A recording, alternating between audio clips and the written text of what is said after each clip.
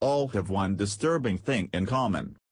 At least 18 businesses advertising as massage parlors in Springfield, Missouri, have been raided as part of a multi-state investigation, Missouri Attorney General Josh Hawley announced Thursday.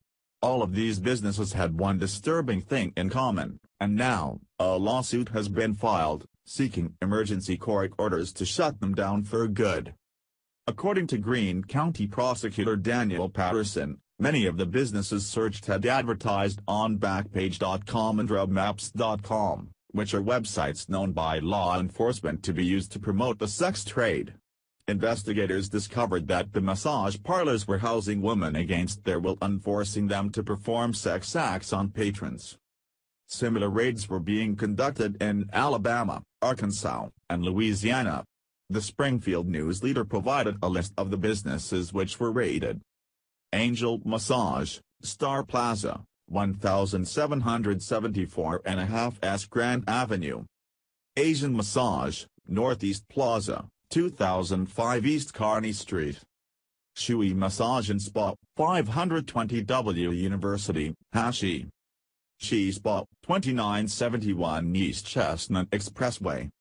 Golden Massage, 4728 South Campbell Avenue No. 112. Lotus Spa, Sunshine Corners, 220 West Sunshine Street.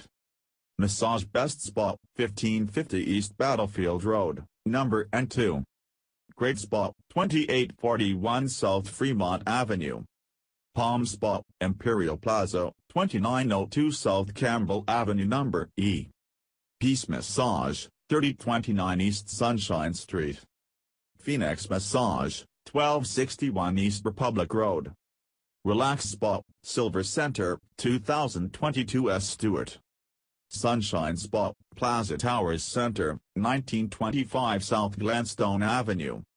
Missouri Attorney General Josh Hawley issued a thinly veiled threat to any other businesses which might also be involved in illegal sex trafficking on Thursday, saying, We will find you out, we will hunt you down, and we will prosecute you.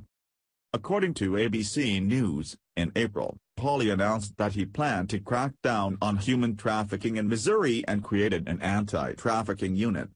The new anti-trafficking unit participated in Thursday's raids and is currently investigating other businesses with alleged involvement in human trafficking, including Backpage.com. The raids were carried out the same week as the U.S. House of Representatives passed three bills to combat human trafficking across the United States, the most notable of which is the Frederick Douglass Trafficking Victims Prevention and Protection Act, which would reauthorize more than $520 million over the next four years to fight human trafficking. The bill is currently pending in the U.S. Senate. Source, The Blaze. With so much wasteful spending coming out of Washington these days, human sex trafficking is definitely a worthy cause for our tax dollars to be put towards.